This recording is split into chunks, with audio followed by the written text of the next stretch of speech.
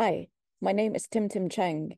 I'm here to read a poem from my new collection, The Tattoo Collector, which is published with Nine Arches Press.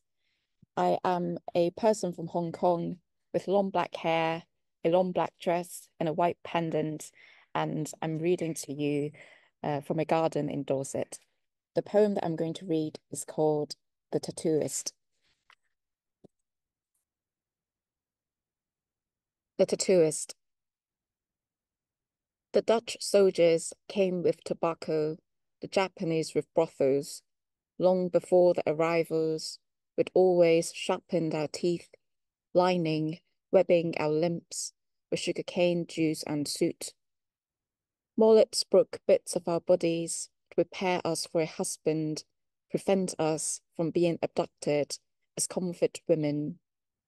To bear fate on our skins, our skins, our bearing, housing our souls.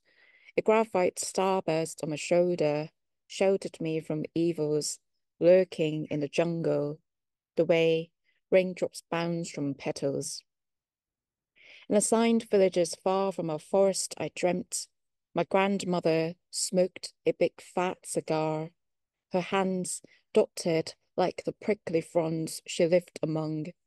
She told me, for every drop of blood spilled onto the ground, an earthquake will ensue. They better do. Um, thanks for listening.